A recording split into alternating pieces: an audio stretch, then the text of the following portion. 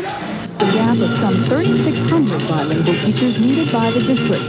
Instead, the district is attempting to re-qualify its own teachers, to make them sign waivers saying they will learn Spanish and bilingual methodology and pass a test in those areas within seven years or be moved to another school.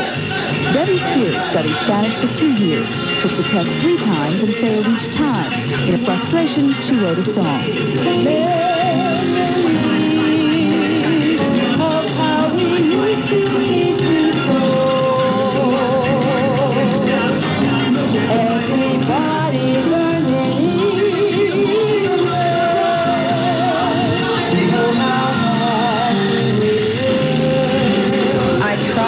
Doesn't make a difference. And I've been displaced. They did not have a replacement in our classroom. And it's very demoralizing. And I was very angry when I found out about my, in my same situation. I'm still in the bilingual classroom. Spears says the teacher who replaced her in her old classroom is not bilingual and not fully certified yet. Mama Bear changed her voice. It was too Peterson disagrees with the whole bilingual teaching method in Los Angeles. Last March, I said, this is it. This is really wrong. We've got to stand up. We never stand up for anything. We always complain.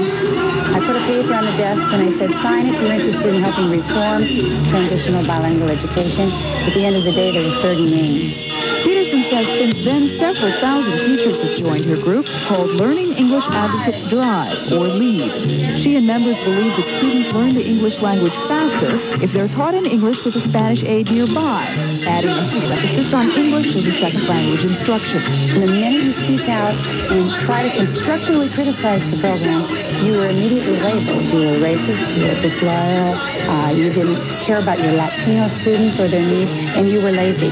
So far, LEAD hasn't received much sympathy from the school board. It's a very, very difficult uh, process uh, to go from one language to another. And I would recommend to the teachers of LEAD, for example, that uh, just as they find themselves in that situation, so do the students, in that there, it seems to me there would be more empathy on the part of the teachers.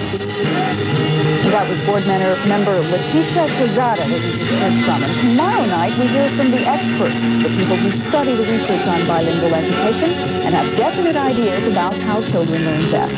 And we've heard a lot about Spanish. What about the other languages, like Vietnamese or Korean? Yeah, that's a good question because there are 81 different languages spoken in the LA school district.